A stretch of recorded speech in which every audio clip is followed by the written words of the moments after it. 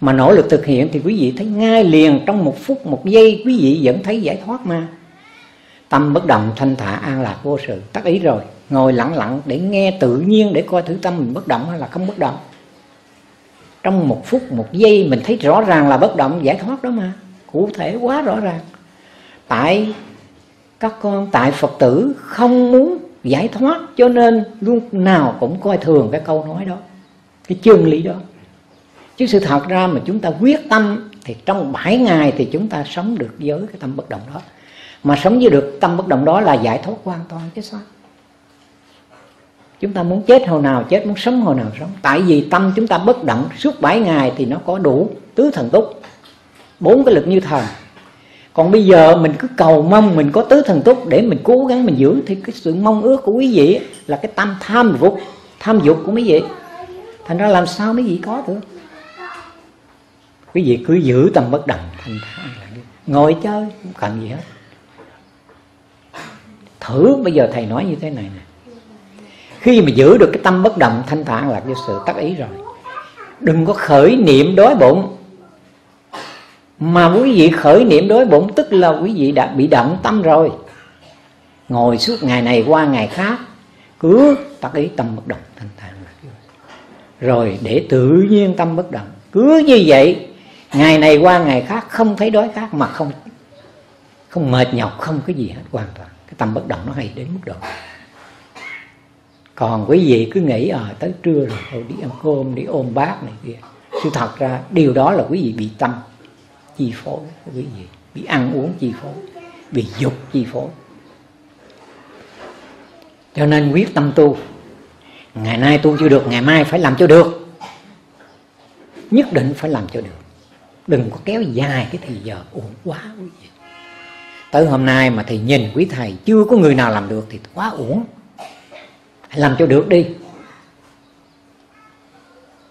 Mấy cô cũng vậy. Lớn tuổi rồi. Thầy thấy quý cô lớn tuổi quá rồi. Còn thời gian đâu nữa mà ngồi chờ. Nhất định chết bỏ hôm nay mà chứng đạo hơn là để kéo dài. Không có mỏi mệt gì hết. Chết bỏ, tao ngồi đây chơi nè tâm bất động thanh thản làm sao cứ ngồi chơi thì mấy con sẽ, thời gian rất ngắn, mấy con sẽ đạt được tâm bất động. Mà tâm bất động thì nó có đủ cái lực cho mấy con. Làm chủ được sự sống chết mấy con. Hãy cố gắng. Các con cố gắng. Thầy nghĩ rằng mấy con sẽ làm được hết. Bên này quý thầy, quý sư đều làm được hết. Không có người nào mà làm không được nhưng mà đừng có bị ảnh hưởng của giáo pháp, sai Phật pháp. Các con cứ lấy những cái lời của Phật dạy trong kinh Nikaya. Thử coi bốn cái tập mà những lời gốc Phật dạy mà thầy đã giải thích. Thì con sẽ thấy thầy giải thích đúng y như cái ý của Phật dạy. Còn mấy con cứ lấy kinh đại thừa cho là Phật tánh bằng cách này bằng cách kia, đều là ảnh hưởng của lão tử, ảnh hưởng của khổng tử toàn là kinh sách của hán tạng, của trung quốc. Người việt thì phải thực hiện pháp phật của việt nam, không có thực hiện pháp của ngoại đạo. Họ làm họ làm đúng sao họ không thành phật? Họ làm đúng sao họ không làm chủ sinh già bệnh chết? Các con thấy người trung quốc họ làm được những gì? Họ qua họ dạy chúng ta tu tập gần chết. Quý thầy tu gần chết mà được những gì? Thử hỏi, bây giờ thầy nói thật như hòa thượng thanh từ bây giờ già như vậy rồi, mà không làm chủ được cái thân thì như vậy là làm sao? Bệnh đau phải đi nằm nhà thương vậy. Không phải là thầy chê hòa thượng hòa thượng cũng tu hết mình, dạy đạo hết sức, mà nhưng gì ảnh hưởng của thiền đông độ. Tại sao không nghiên cứu kinh sách nguyên thủy mà dạy? Có nhiều người bây giờ đang theo tu tập, nhưng mà rốt cuộc ai làm được những gì? Ông thầy nói như vậy để chúng ta không phải bài bác một người nào khác, mà để chúng ta thấy được cái pháp nào tu được, làm chủ được. Tâm bất động thanh tạng là vô sự làm gì chúng ta có ác pháp tác động vô được.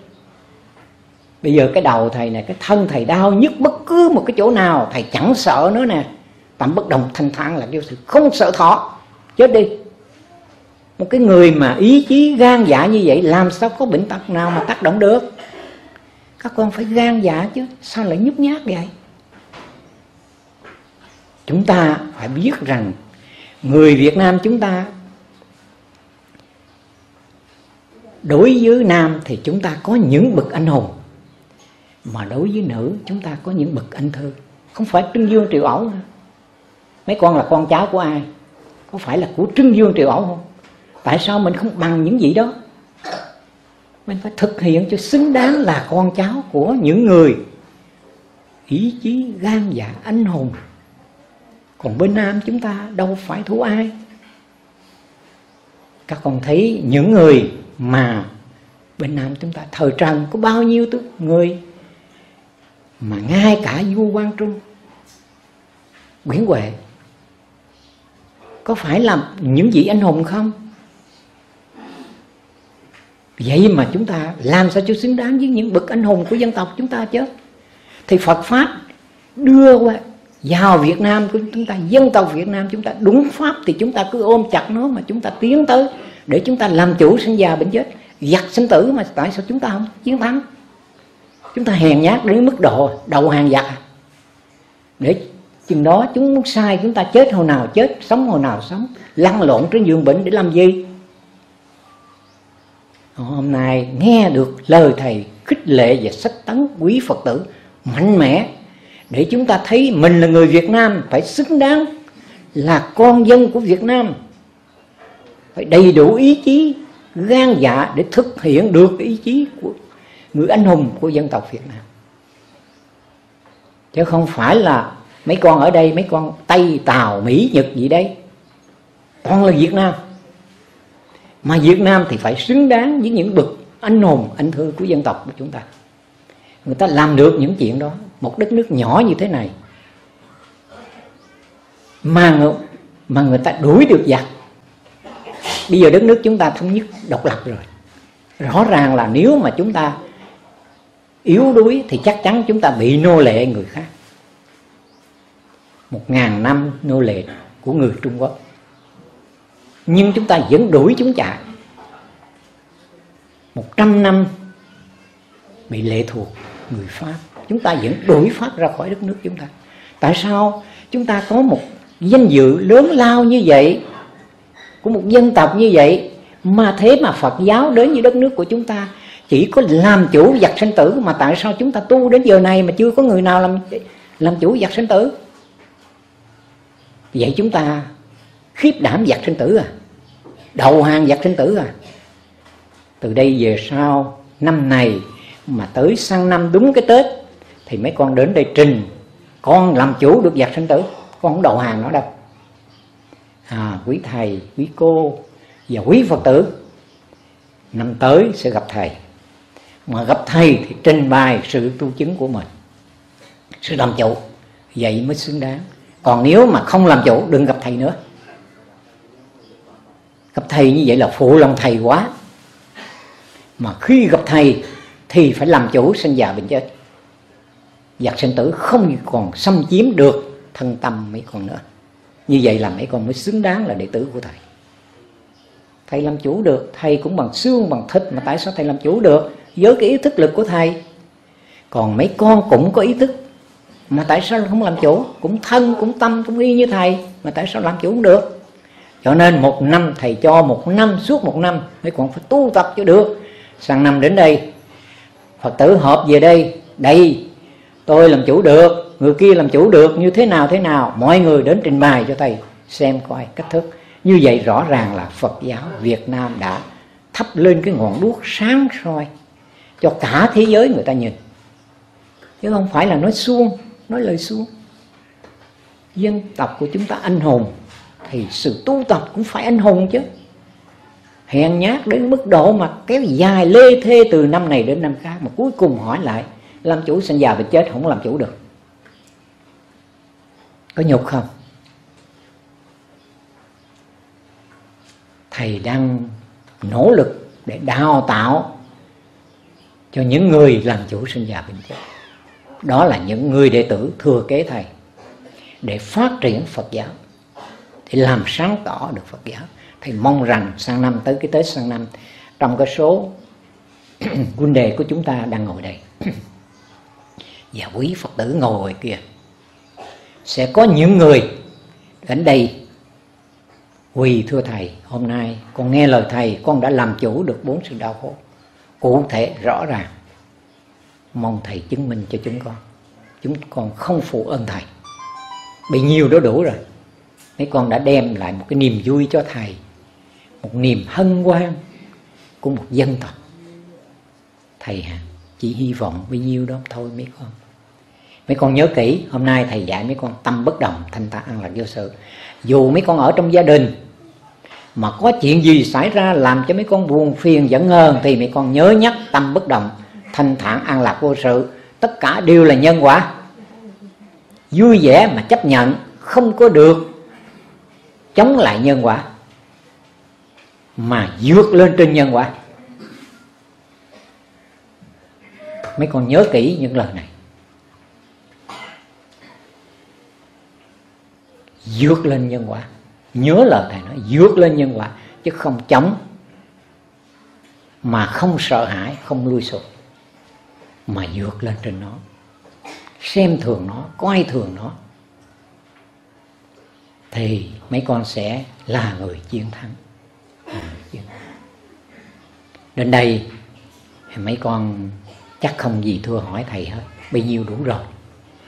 Có còn thưa hỏi thì mấy con sẽ viết thư. Đừng họ thưa hỏi những cái điều dông dẫn mà hỏi ngay cái sự tu tập làm chủ sinh già bệnh chết. Thầy giúp đỡ liền. Chứ còn hỏi chuyện gia đình, con cái này kia thì chuyện đó là nợ nhân quả của mấy con, thì mấy con tự giải quyết chứ. Sao hỏi thầy thầy giải quyết cho được sao? Không, còn tất cả mọi chuyện khác nữa, thầy không giải quyết đâu.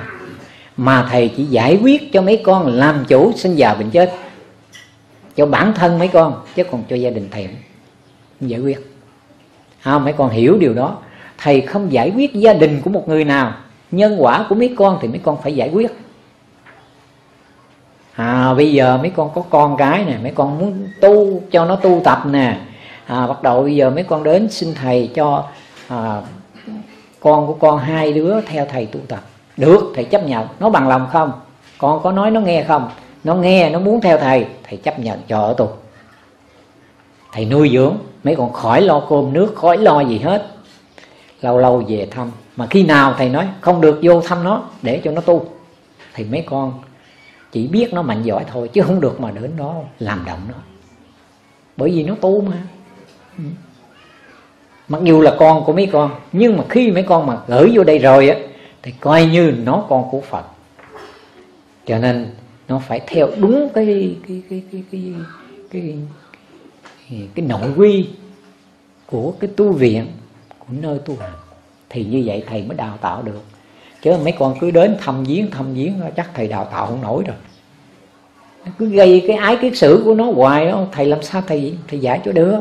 Cho nên khi giao thầy á, là mấy con mong cho nó thành phật. Thì các con sẽ đứt, cắt đứt cái ái kiết sử của mấy con đi, thì thầy sẽ giúp cho nó tới nơi, tới chỗ. Ừ. À bây giờ mấy con hiểu chưa? Hiểu rồi thì nhớ tâm bất động, thanh tạ chỉ có bị nhiêu đó thôi, có một câu đó thôi nãy giờ thầy nói chắc mấy con thuộc lào hết rồi. Không có người nào là không thuộc. Câu ngắn gọn, dễ quá mà. Cái gì có khổ mấy con nhắc tầm bất động thanh tạng là kêu sự, không có khổ nha. Nhân quả. Vui vẻ, không có buồn giận ai nữa hết. Thương yêu và tha thứ. Có thương yêu thì tha thứ, dễ dàng.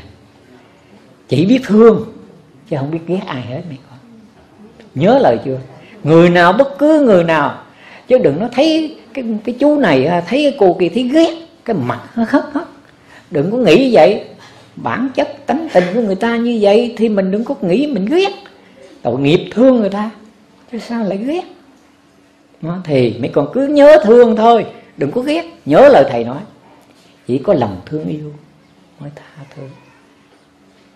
Mấy con thấy đạo đức của đạo phật, chỉ có lấy thương yêu, tâm từ bi mà. Đâu có ghét ai đâu nếu mà ông phật còn ghét chắc ông không thành phật đâu. Có phải không mấy con hiểu không? Cho nên bất cứ người xấu người tốt người hung người dữ người đó đánh đập mình mình cũng thương. Không ghét người nào chửi mình mình cũng thương. Nhờ mà cái người đánh mình chửi mình mà mình thương được á là mình giải thoát. Mình thấy rõ ràng mà. Tôi không ghét người này thì tôi giải thoát rồi. À, mấy con thấy dễ dàng để nhận diện ra được cái sự giải thoát của chính mình khi gặp những ác pháp thôi đến đây chấm dứt, để thầy đi về thì nghỉ chứ, nói nhiều quá cũng khang tiếng. Phải không? Để thầy sống chứ. Rồi, có gì không?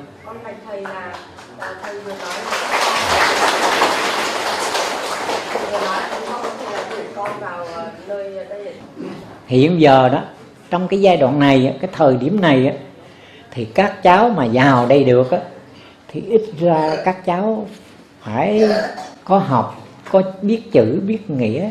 Thông suốt thì các cháu phải um, phải từ 14 15 tuổi thầy mới dám nhận. Còn sau này á, có cái khu an dưỡng có những người lo lắng cho các cháu trẻ còn bé còn thơ đó họ sẽ lo lắng cái vấn đề này. Họ dạy họ nung đúc từ cái tuổi mà còn thơ ngay như năm sáu tuổi ba bốn tuổi họ vẫn nuôi họ nuôi dưỡng trong cái cái giáo dục. Còn bây giờ thì phải từ 14, 15 trở lên chứ còn dưới nữa thầy thầy chưa có người. Thấy không? Ừ. thôi bây giờ thì à, chào mấy con thì ra. Còn không? Còn thư hỏi gì nữa không con? Hết rồi phải không? Ráng mà tu. Thôi, bây giờ thầy chào mấy con thì ráng tu tập, nhớ tâm bất động thanh tản ai cũng giữ tâm bất động cho thầy thì giải thoát. Ngay liền, không có lâu.